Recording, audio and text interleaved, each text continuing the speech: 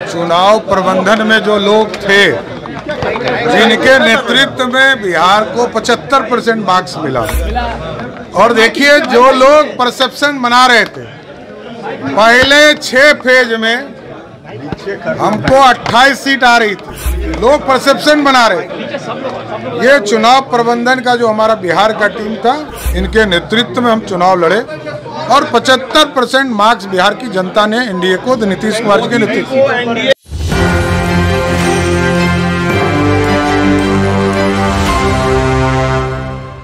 नमस्कार, आप देख रहे हैं एक न्यूज़ 24 और मैं हूँ स्वाति। आपके साथ लोकसभा चुनाव संपन्न हो चुका, नतीजे आ गए और वहीं लोकसभा चुनाव के नतीजे को लेकर आज बिहार बीजेपी की समीक्षा बैठक थी और बैठक खत्म होने के बाद बिहार के उप मुख्यमंत्री सम्राट चौधरी ने मीडिया से बातचीत की और जहाँ उन्होंने बताया कि बिहार की जो चालीस सीट थी, उसको लेकर उनकी क्या एक्सपेक्टेशन थी? हालाँकि वो कितना सीट जीतने में कामयाब हुए और जो सीट हारे, उसके पीछे की वजह क्या इसकी समीक्षा हो रही है? वहीं जब उनसे पत्रकारों ने बिहार के मुख्यमंत्री मुख्यमंत्री नीतीश कुमार को लेकर सवाल किया कि जदयू की ओर से एक बयान आया जिसमें यह कहा गया है कि 2025 के बिहार में होने वाले विधानसभा चुनाव में एनडीए गठबंधन नीतीश कुमार के नेतृत्व में चुनाव लड़ेगी। तो इन तमाम मुद्दों पर सम्राट चौधरी ने अपनी क्या प्रतिक्रिया दी और क्या कुछ कहा, आप इस वीडियो में सुनिए। चुनाव प्रबंधन में जो लोग थे, जिनके नेतृत्व में बिहार को 75 परसेंट मार्क्स मिला।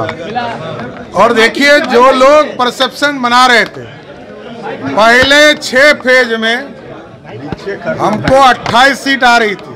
लोग परसेप्शन बना रहे ये चुनाव प्रबंधन का जो हमारा बिहार का टीम था इनके नेतृत्व में हम चुनाव लड़े और 75 परसेंट मार्क्स बिहार की जनता ने एनडीए को नीतीश कुमार जी के नेतृत्व देखिए हम लोग समीक्षा कर रहे हैं। जिस सीटों पर हम चुनाव हारे हैं सभी जगह समीक्षा कर रहे हैं। हम इससे और अच्छा बेहतर कर सकते थे। हमारा एक्सपेक्टेशन था कि हम उनचालीस और 40 जीतेंगे लेकिन हम 25 परसेंट सीट हारे।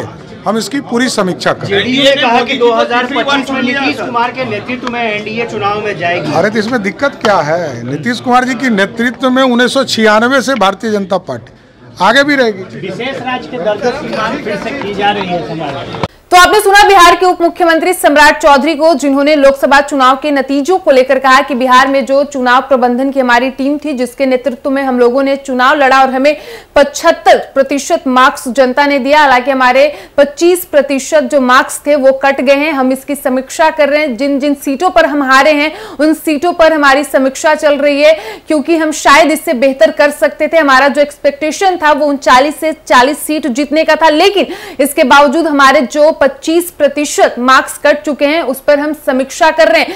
लेकिन जब नीतीश कुमार को लेकर उनसे सवाल किया गया कि जदयू की ओर से बयान दिया गया है कि 2025 के बिहार में होने वाले विधानसभा चुनाव में नीतीश कुमार के नेतृत्व में एनडीए गठबंधन चुनाव लड़ेगी तो सम्राट चौधरी ने कहा कि इसमें अलग क्या है और ऐसा नहीं है, पहली बार ऐसा नहीं हो रहा है। हम बिल्कुल दो हज़ार पच्चीस के चुनाव नीतीश कुमार के नेतृत्व में लड़ेंगे और साथ ही सम्राट चौधरी ने यह भी कहा कि हम उन्नीस से लेकर अब तक नीतीश कुमार के नेतृत्व में बीजेपी है और शायद आगे भी रहेगी। हालाँकि इस पर आपकी क्या राय है? कमेंट बॉक्स में अपनी राय अवश्य लिखिए और ऐसे ही तमाम खबरों के लिए देखते रहिए एक न्यूज़ 24 वीडियो पसंद आया हो तो वीडियो को लाइक करे, शेयर करें, साथ ही हमारे यूट्यूब चैनल एक न्यूज़ ट्वेंटी को सब्सक्राइब कर ले। यदि आप हमें फेसबुक पर देख पा रहे हैं तो हमारे फेसबुक पेज को भी फॉलो करें। धन्यवाद।